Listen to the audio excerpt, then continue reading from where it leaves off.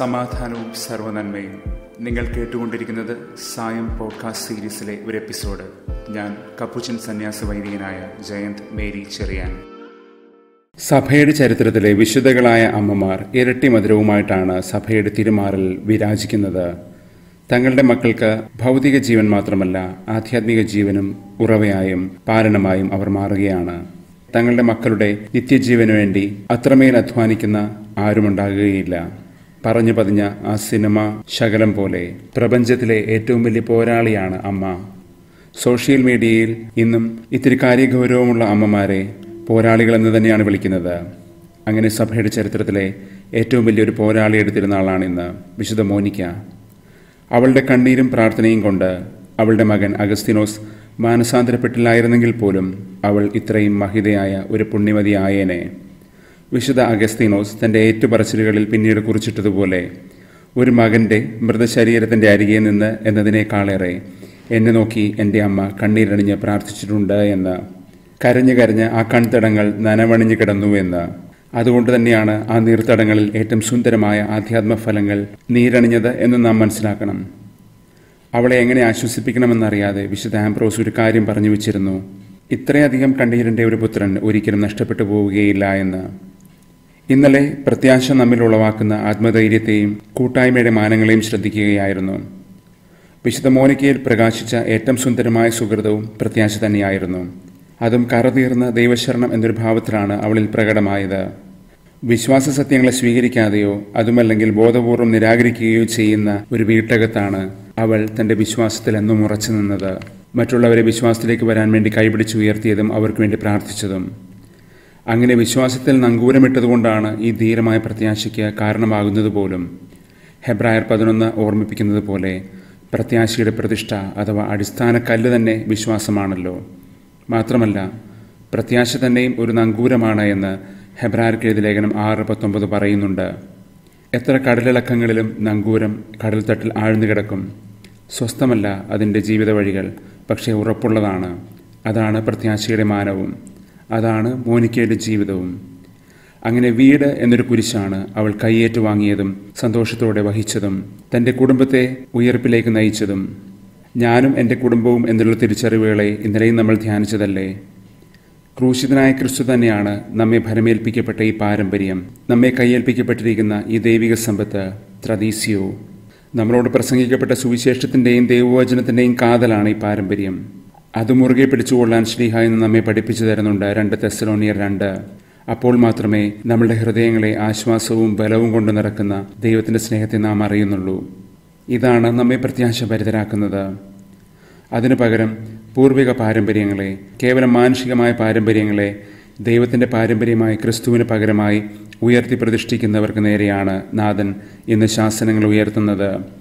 കപടനാട്യക്കാരായ ഫരിസേരെ നിങ്ങൾക്ക് ദുരിതം എന്ന് പറഞ്ഞുകൊണ്ട് സ്നേഹത്തിന്റെ ഗൗരവം എന്തെന്നവർ മനസ്സിലാക്കാതെ പോവുകയാണ്. യാന്ത്രികമായ നിയമങ്ങൾ പാലിച്ചുകൊണ്ട് അവർ അതുകൊണ്ട് തന്നെയാണ് കപടനാട്യക്കാരായി പോകുന്നത്. ഉപ്പോക്രസിസ് ഉള്ളിലുള്ളതും പുറമേ കാണപ്പെടുന്നതും രണ്ടും രണ്ടായിരിക്കുക എന്നാണല്ലോ ആ വാക്കിന്റെ അർത്ഥം. ഇന്നലെ നമ്മൾ കണ്ടതുപോലെ ഉപ്പോക്രസിസ് എന്ന വാക്കിന്റെ അർത്ഥം പൂർണമാകുന്നത് ആന്തരികമായ വിധി എന്നതിനർത്ഥം കൈവരുമ്പോഴാണ്. അടിസ്ഥാനപരമായ വിധി. അണ്ടർലൈങ് ജഡ്ജ്മെന്റ് നമ്മൾ നേരത്തെ കണ്ടതുപോലെ പ്രത്യാശയുടെ അടിസ്ഥാനത്തിൽ വിശ്വാസമാണ് നിലകൊള്ളുന്നത്. വിശ്വാസം എപ്പോഴും ദൈവത്തിന്റെ വിശ്വസ്തയോട് ബന്ധപ്പെട്ടാണ് നമ്മൾ മനസ്സിലാക്കേണ്ടത്. ദൈവം നിത്യം വിശ്വസ്തനാണ് എന്നതാണ് നമ്മുടെ വിശ്വാസത്തിന്റെയും അതിൽ നിന്ന് നമ്മുടെ പ്രത്യാശയുടെയും എല്ലാം ആധാരം. ഇത് ദൈവത്തിന്റെ നീതിയുമായി ബന്ധപ്പെട്ട ഒരു തിരിച്ചറിവാണ്. ദൈവത്തിന്റെ സ്നേഹകാരുണ്യവുമായിട്ടാണ് നമ്മളതിനെ മനസ്സിലാക്കേണ്ടതും. ദൈവത്തിന്റെ നീതിയും സ്നേഹകാരുണ്യവും ഒരുപോലെ വിളങ്ങുന്നൊരു ഭാവമാണ് അവിടുത്തെ വിശ്വസ്തത. അതുകൊണ്ട് തന്നെ നമ്മളുടെ ജീവിതത്തിൽ പാലിക്കേണ്ട സ്നേഹത്തിന്റെ ഗൗരവങ്ങളെയും സ്നേഹത്തിന്റെ നിബന്ധനകളെ ഹൃദയപൂർവം ഏറ്റെടുക്കാനുള്ള ആ ഗൗരവം തന്നെ മാത്രമല്ല ദൈവത്തിന്റെ നീതിയെ തിരിച്ചറിഞ്ഞുകൊണ്ട് ജീവിതത്തെ നീതിയോടെ ക്രമവത്കരിക്കാനുള്ള ആ ഒരു ക്ഷണവും ഇവിടെ ഉൾച്ചേരുന്നുണ്ട്. അങ്ങനെ ദൈവത്തിന്റെ സ്നേഹവും വിശ്വസ്തതയും നീതിയും തന്നെയാണ് നമ്മുടെ ജീവിത പ്രമാണങ്ങളെന്നറിഞ്ഞിട്ടും അത് ബാഹ്യമായി ജീവിക്കാൻ നമുക്ക് കഴിയാത്തതാണ് ആന്തരികമായി അംഗീകരിക്കാൻ കഴിയാത്തതുമാണ് കപടനാട്യത്തിന്റെ ആധാരം. നമ്മുടെ ഉള്ളിൽ തെളിവുകൾ ഉണ്ടായിട്ടും അത് പുറമേക്ക് ജീവിക്കാനോ അത് ഉൾക്കൊള്ളാനോ നമുക്ക് സാധിക്കാതെ വരുമ്പോഴാണ് നമ്മൾ കപടനാട്യക്കാരാകുന്നത്.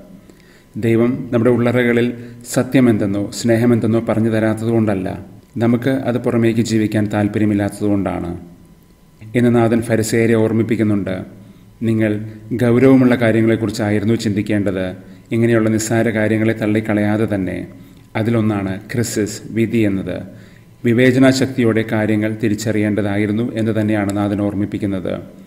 നമ്മളുടെ ഉള്ളിൽ തെളിയുന്ന ഈ വിവേചന ബുദ്ധിയെ മറന്നുകൊണ്ടാണ് നമ്മൾ ആലസ്യത്തിന്റെയും സൗകര്യങ്ങളുടെയും പുറമോടികൾ അണിയുന്നത്.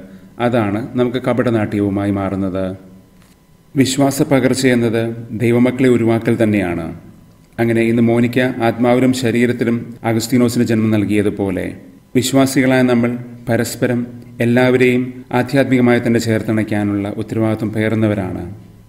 അതുകൊണ്ട് തന്നെ ദൈവമക്കൾക്കടുത്ത് സ്വാതന്ത്ര്യം പകർന്നു കൊടുക്കുമ്പോൾ ക്രിസ്തു എന്ന പാരമ്പര്യത്തെയും ജീവിത പ്രമാണത്തെയും തന്നെയാണ് പകർന്നു കൊടുക്കേണ്ടത്.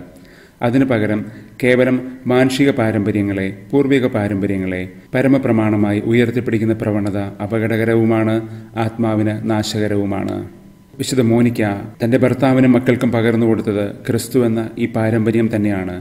അതും കുരിശിന്റെ സഹന വഴികളിലൂടെ പ്രത്യാശയുടെ പരിപൂർണതയായ ഉയർപ്പിന്റെ വഴികളിലൂടെ. ഇന്ന് എല്ലാ കുടുംബങ്ങളിലും മധ്യസ്ഥയായ അവൾ വിളങ്ങുന്നതിനൊരു പ്രധാനപ്പെട്ട കാരണം ഈ വിശ്വാസത്തിന്റെ പകർച്ച. എന്നിലോ നിങ്ങളിലോ എന്റെ കുടുംബങ്ങളിലോ കൂട്ടായ്മകളിലോ മാത്രം ഒതുങ്ങി നിൽക്കുന്ന ഒന്നല്ല എന്നത് തന്നെയാണ്. അതിന് സാർവപ്രാപഞ്ചികമായ മാനമുണ്ട്. വ്യക്തിപരമായ ജീവിതത്തിൽ പോലും നമ്മൾ പുലർത്തുന്ന വിശ്വസ്തതയും ഏകാഗ്രതയും പ്രത്യാശയും സ്നേഹത്തികവുമെല്ലാം പ്രപഞ്ചത്തിനാകമാനം ദൈവവെളിച്ചമായി മാറുകയാണ്. അതുകൊണ്ട് തന്നെയാണ് ഇന്നലെ സങ്കീർത്തനം തൊണ്ണൂറ്റാറ് പോലെ തന്നെ ഇന്നും സങ്കീർത്തനം തൊണ്ണൂറ്റാറ് നമ്മെ ദൈവഭവനത്തിന്റെ ഈ പ്രാപഞ്ചിക മാനം ഓർമ്മിപ്പിക്കുന്നത്. എല്ലാവരെയും ദൈവം ചേർത്തണച്ച് ഒരുക്കി വെച്ചിരിക്കുന്ന ഒരു വീടാണ് മാനവരാശിയും പ്രപഞ്ചവുമാകെ. അവിടെ എല്ലാവരെയും ദൈവഭവനത്തിലേക്ക് ചേർത്തണയ്ക്കുന്ന പ്രത്യാശയുടെ പ്രവാചകരായി നമ്മൾ മാറണം. മാനവരാശിയും പ്രപഞ്ചവുമാകവേ ഈ പ്രത്യാശയിൽ കണ്ണീരണിഞ്ഞുകൊണ്ട് ഹൃദയമൊരുക്കി കാത്തിരിക്കുകയാണ്. തങ്ങളിൽ ദൈവമക്കളുടെ പൂർണത കൈവരുവോളം. റോമർ എട്ട് പതിനെട്ട് മുതൽ ഇരുപത്തിരണ്ട് വരെ. അങ്ങനെ കണ്ണീരുകളെല്ലാം സുധീരമായ പ്രാർത്ഥനകളായി മാറുന്നു. കരുണയുടെ നനവായി മാറുന്നു. നമ്മളെല്ലാം സ്നേഹത്തിൽ പരസ്പരം അമ്മമാരായി മാറുന്നു. പൗലോശ്ലിഹ പറഞ്ഞതുപോലെ ഗലാത്യർ നാല് പത്തൊമ്പത്. മോനിക്ക പുണ്യവതി കാണിച്ചു തന്നതുപോലെ ക്രിസ്തു രൂപപ്പെടുവോളം ഈറ്റുനോവ് അനുഭവിക്കുന്ന പ്രപഞ്ചത്തിലെ ഏറ്റവും വലിയ പോരാളികൾ പ്രത്യാശയുടെ പോരാളികൾ.